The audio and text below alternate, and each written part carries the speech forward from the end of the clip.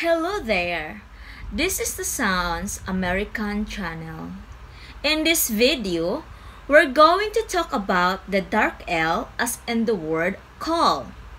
You can also hear this sound in words like tall, gold, fall, or fought. We'll be using a special phonetic symbol L for this sound. Let's get back to our examples. Now, listen to these words pronounced with a regular L and compare. Can you hear any difference? Can you hear any difference now? We can't either. And this is totally fine. The dark and the regular L sound almost the same. The dark L is only a variation of the L sound and not a distinct consonant. And to be honest, that's all that most people need to know about the dark L. But if you don't have more important things to do, keep watching. And you know what? We actually we actually won't be using the dark L symbol. It's never used in dictionaries and we like to keep things simple. Before we get into the dark L discussion, let's recall how to make the regular L sound. Here you go. The L is pronounced with the tip of your tongue touching the alveolar ridge behind your upper front teeth. The back of your tongue is lowered. The L is made with air passing through the mouth around the sides of the tongue like a liquid. By the way, this is why it's called a liquid consonant. Okay, now let's try to pronounce the L in slightly different way.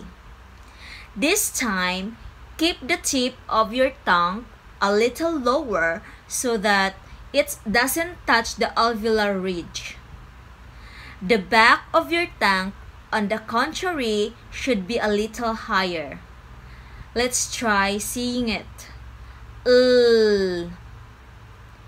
uh, uh.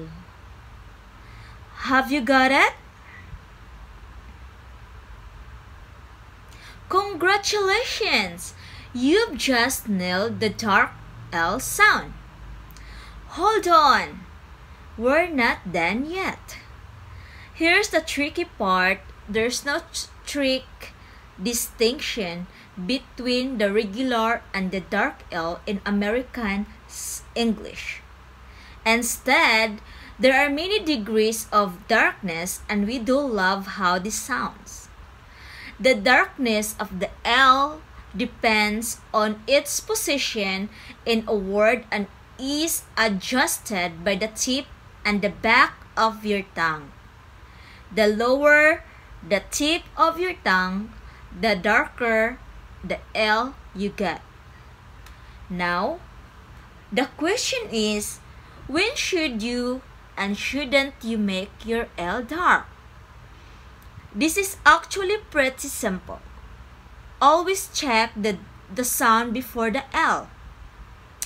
If it's one of the back vowel sound, like in the words tall, fall, gold, and fault, pronounce the darkest L possible. The thing, the thing is, when you make the back vowel your tongue is already pulled back. So it's easier to make the dark L. Tall, fall, gold, and fault. If it's one of the central or front vowels, like in the words deal, meal, tell, or final, pronounce the U that's slightly darker than the regular one. It's okay to gently touch your alveolar ridge, deal, meal, tell, final. Now, what happens when there a consonant before the L or the L is at the beginning of a word or a syllable? Correct. In that case, pronounce your regular L sound play, clean, light, or look. At this point, you may wonder what's going on in the red area. This is to show you one of the most typical mistakes that people make when pronouncing the L sound. There is the L sound, also known as the soft L, which exists in several languages but doesn't exist in American English. The soft L is pronounced with the tip of your tongue curled back to your palate and this is not how to make any of the American L sound. Remember, if you pronounce the soft L instead of the L sound, it seriously affects your American accent. Pronunciation exercise 1 Bold, all, sold, gold, fold,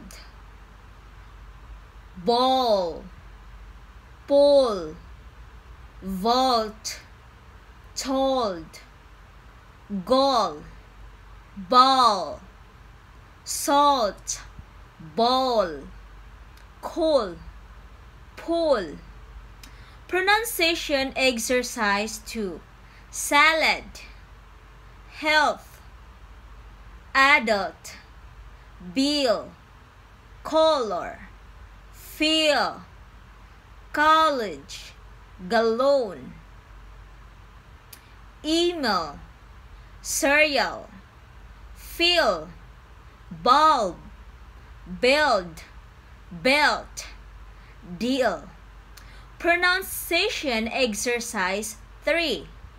Place, lift, look, lady, black, old, wall, police, flat, golf, golden, else, small, tall, roll, model, class, whole, crawl. Thank you.